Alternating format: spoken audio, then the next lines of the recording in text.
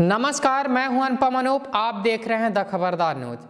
बछवाड़ा बेगूसराय के रानी एक पंचायत के अंतर्गत हाई टेंशन तार की चपेट में आने से एक गरीब का झोपड़ा जल करके खाक हो गया।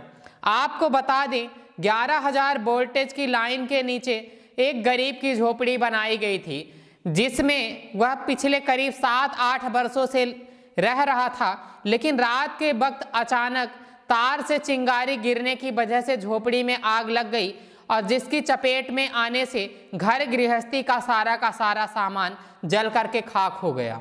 आपको बता दें कि बछवारा बेगूसराय, रानी एक पंचायत के नारेपुर बाड स्थित बाड क्रमांक 10 के हाई टेंशन विद्युत तार से निकली चिंगारी ने गरीब परिवार का आसियाना जला करके राख कर दिया।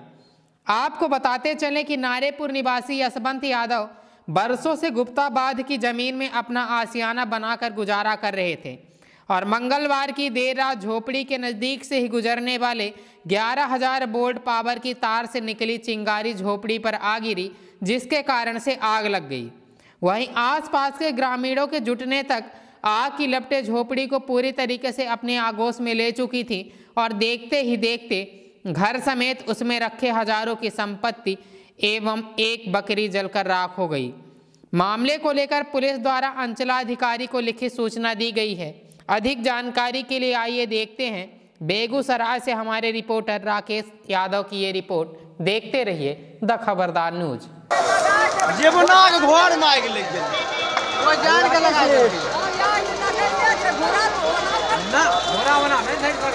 कौन नंबर से।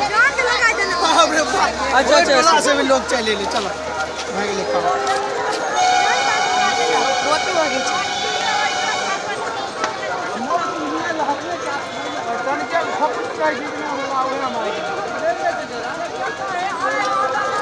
मट्टी आ देखो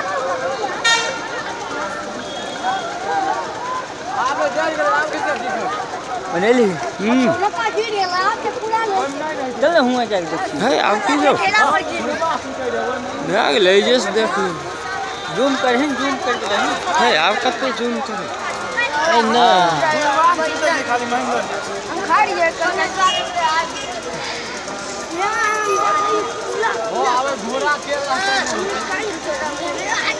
लहा दारू बिकते रहे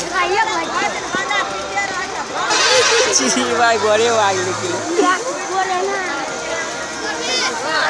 खबरदार हिंदी न्यूज़ चैनल के साथ जुड़े रहने के लिए the Khabardar Hindi news channel को लाइक करें शेयर करें सब्सक्राइब करें और अगर आप ये वीडियो फेसबुक पर देख रहे हैं तो फेसबुक पेज को लाइक करें। धन्यवाद।